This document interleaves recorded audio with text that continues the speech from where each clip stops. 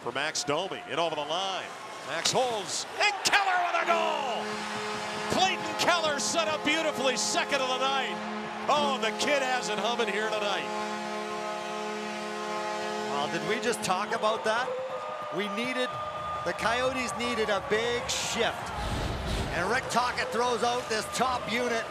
And away they go. Up the ice they go. Max Domi. He's waiting. He's waiting. What patience. And he puts it right into the wheelhouse of Keller from the ladies' tees. Doesn't handle it, doesn't stick handle, on and off the stick.